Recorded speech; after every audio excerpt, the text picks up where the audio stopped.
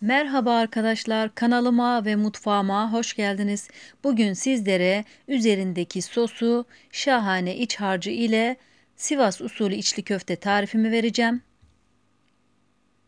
Gördüğünüz gibi görüntü de muazzam ve sözü fazla uzatmadan hemen yapım aşamasına geçiyorum. Bunun için 3 su bardağı dolusu ince köftelik bulgurumu ve yarım su bardağı irmiğimi iyice karıştırıp ve sıcak su ile hatta kaynar su ile ıslatıyorum. Acilde ise normal çeşme suyu ile de ıslatabilirsiniz. Benim aniden çıkan bir sipariş olduğu için bulgurlar çabuk şişsin diye, çabuk yumuşasın diye kaynar su ile ıslattım ve üzerini kapatıp dinlenmeye bıraktım. Daha sonra iç harcımız için 4 adet orta boy patatesimizi küp küp doğrayıp suyunu ayarlayıp bu şekilde haşladım.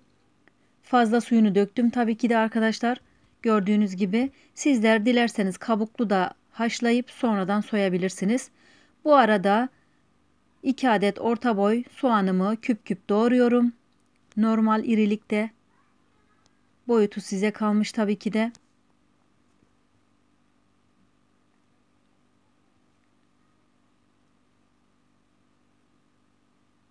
Soğanlarımı ocağa almadan önce patateslerimi de ezici yardımıyla iyice eziyorum. Patateslerimi de normalde ben bıçak yardımıyla ufaltıyorum arkadaşlar. Müşterimin isteği üzerine tamamen ezdim ve soğanlarımı ocağa alıp göz kararı zeytinyağı ekleyip biraz pembeleştikten sonra salçasını ekleyip biraz daha kavurduktan sonra haşlanmış patateslerimi ve baharatlarımı ekliyorum.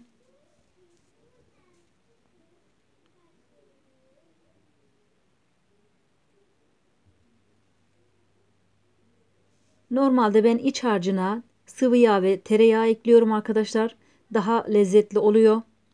Bu şekilde de şahane oldu. Kesinlikle tavsiye ederim sağlık sorunları olanlar için.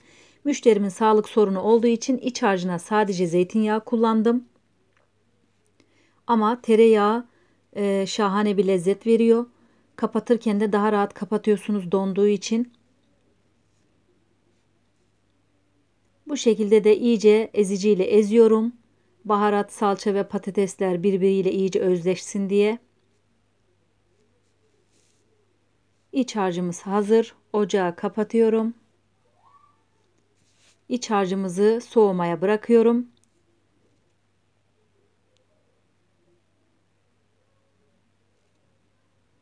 Ve diğer yandan dış harcımızı hazırlamaya geçiyorum. Hamurumuz içinde bulgurlarımız güzelce şişti suyunu çekti. Yanıma bir su bardağı kadar un alıyorum ve bir kase kadar su alıyorum. Tuzunu ilave ettikten sonra yoğurmaya başlıyorum. Çiğ köfte yoğurur gibi yoğuruyorum. Bulgurlar biraz kendini tutana kadar yoğuracağım. Tutmaya başlayınca ara ara un ilavesi yaparak yoğurmaya devam edeceğim. Normalde ben makinayla yoğuruyorum. Az olduğu için herkesin de makinasının olmadığını düşündüğümden sizler için tamamen elle yoğurmak istedim arkadaşlar. Ölçülü malzeme listesini açıklama kısmına ekledim. Oradan ulaşabilirsiniz. Garantili tarifimdir. Instagram sayfamda çok paylaştım. Buraya da eklemek istedim. Gördüğünüz gibi bulgurumuz tutmaya başladı. Ara ara un ilave ederek yoğurdum ve böyle oymayı deniyorum. Yırtılıyorsa yine un ilavesi yaparak yoğurmaya devam ediyorum. Bu arada tabii ki e, elime de azar azar su ilavesi e, yaparak yoğuruyorum.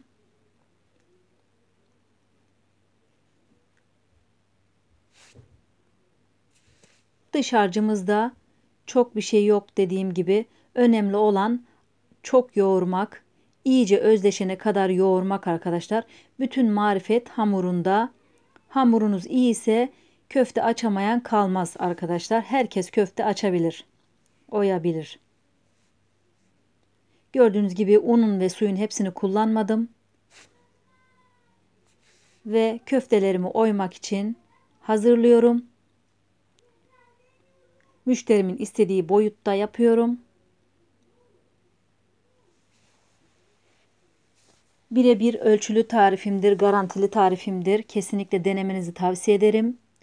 Sadece dediğim gibi hamurunu iyi yoğurun arkadaşlar. Kesin sonuç alacaksınız.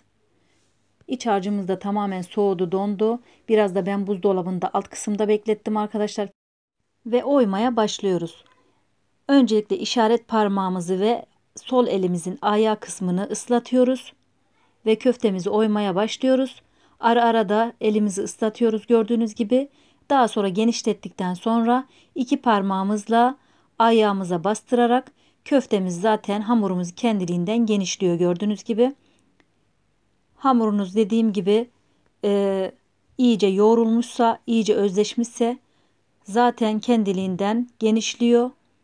Şekli hiç önemli değil. Zaten satış falan yapmıyorsanız arkadaşlar istediğiniz şekilde şeklini verebilir, oyabilir, kapatabilirsiniz. Yeter ki hamurunuz iyice özleşmiş olsun. Hamurunuz e, sert ve dümdüz bir hamur olmalı. Fazla unlu olursa cıvık olur arkadaşlar. Elinize yapışır sürekli. Fazla irmikli olursa da e, haşladığınız zaman lastik gibi olur. Kızarttığınız zaman da çok sert olur. Burada da bir püf noktası vermiş oldum sizlere. Bu arada köftemi oyarken sizlere bir sorum olacak arkadaşlar. Bu yaptığım Sivas usulü içli köftemi, Kastamonu usulü içli köftemi. Ee, ben Sivas usulü diye biliyorum. Eşimden dolayı eşim Sivaslı. Ailesi bu şekilde yapar. Ee, dışı beyaz, e, içi patatesli. Üzerine tereyağı yakıp sadece dökerler. Ben sosunu daha bir güzelleştirdim. Tabii ki de videomun sonunda göreceksiniz. E, Kastamonular da yapıyormuş sanırım. E, müşterimin birisi Kastamonulu. Bu nedenle sordum. Yorumlarınızı bekliyorum arkadaşlar. Merak ettim açıkçası. Sivas ve Kastamonuluları yoruma bekliyorum. Adana, Urfa usulü içli köfte tarifim de kanalımda sesli ve detaylı olarak mevcut. izleyebilirsiniz. Sadece ekstradan ceviz ekliyorum. Satışını yaptığım için genellikle cevizli istiyorlar.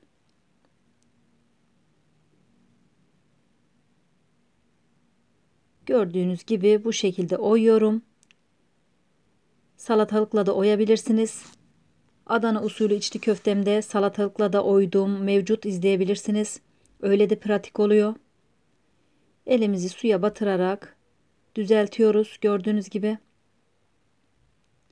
Ufak tefek çatlaklar olabilir oyarken kapatırken arkadaşlar. Elinizi ıslatıp çatlakları birleştirebilirsiniz. Gördüğünüz gibi bu şekilde hiç sıkıntı olmaz. Haşlarken veya kızartırken zaten tutuyor. Ve birkaç tane daha oymak istiyorum.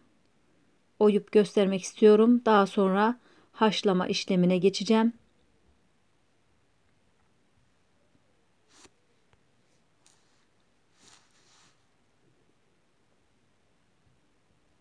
Sizlere oyarken gösterdiklerim biraz daha ince arkadaşlar.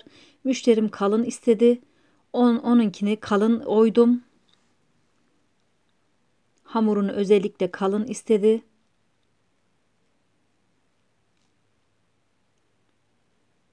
Gördüğünüz gibi iki tepsi yani 2 kilogram hazırladım bu şekilde.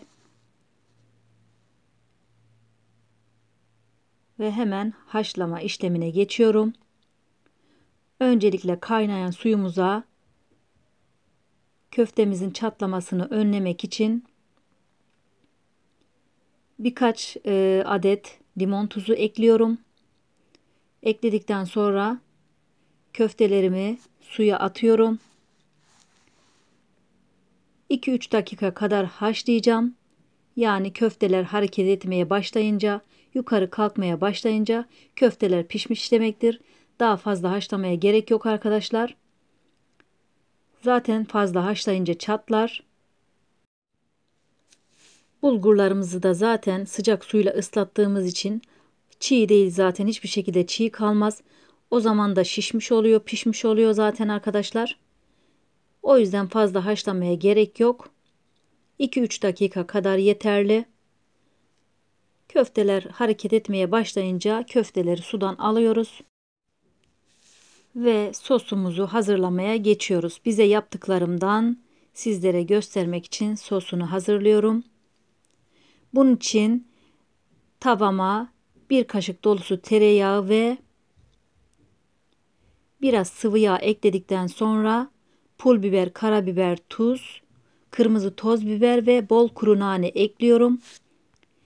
Köpük köpük olana kadar naneleri yakmadan tabii ki de pişiriyorum arkadaşlar ve köftelerimizin üzerine gezdiriyorum. Gördüğünüz gibi görüntü kadar tadı da enfes oluyor. Sosa bulayıp yemek o kadar şahane oluyor ki arkadaşlar kesinlikle tavsiye ederim. Mutlaka deneyin. Normalde Sivas usulü işte köftede sadece tereyağı yakarlar bildiğim kadarıyla. Ee, ben sosunu daha da bir güzelleştirdim. Daha bir şahane oldu. Kesinlikle tavsiye ederim. Ve şöyle iç harcını da gösterip tarifime veda ediyorum. Sonuna kadar izleyenlerin de yorumlarını olumlu olumsuz bekliyorum. Aklınıza takılan, merak ettikleriniz veya benim eklemeyi unuttuğum herhangi bir şey varsa yorum kısmına ekleyebilirsiniz. Cevaplarım arkadaşlar. Beğeni ve yorumlarınızla ve sevdiklerinizle tariflerimi, siparişlerimi paylaşarak destek olursanız sevinirim. Kanalıma abone değilseniz ücretsiz abone olarak bana destek olabilirsiniz. Gerçekten zorlu şartlarda e, siparişlerimin arasında sizlere çekip paylaşıyorum. Tariflerimi ekliyorum. Desteğinizi esirgemezseniz çok sevinirim. Bir sonraki gönderimde görüşmek dileğiyle. Hoşça kalın, sevgiler. Allah'a emanet olun.